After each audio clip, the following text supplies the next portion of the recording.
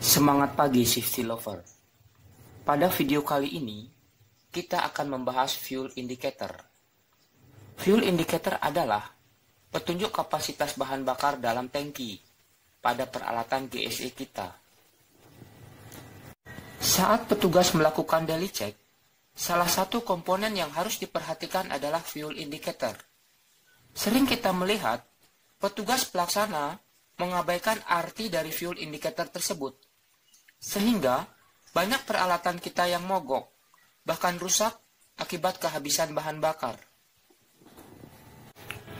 Jika kita melihat arti dari huruf dan angka dalam fuel indicator tersebut menunjukkan bahwa huruf F berarti full, yang menunjukkan kapasitas bahan bakar dalam tangki penuh. Huruf E berarti emergency, yang menunjukkan kapasitas bahan bakar dalam tangki sangat sedikit atau hampir habis, sekitar 10 sampai dengan 15% dari kapasitas maksimum tangki.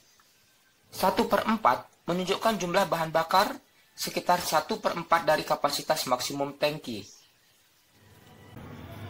Yang perlu diperhatikan oleh petugas pelaksana, jangan membiarkan kapasitas bahan bakar dalam tangki kurang dari seperempat atau terlalu sedikit. Hal ini berakibat saat volume bahan bakar sedikit, maka udara luar akan mengisi bagian dalam tangki dan dapat mengakibatkan terjadinya kondensasi.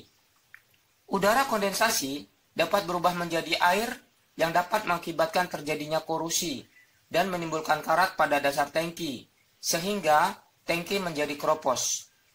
Kondensasi dapat juga menimbulkan endapan kotoran, sehingga membuat saluran bahan bakar tersumbat dan berakibat pembakaran tidak sempurna. Di samping, dapat mengakibatkan kerusakan pada fuel filter dan injection pump.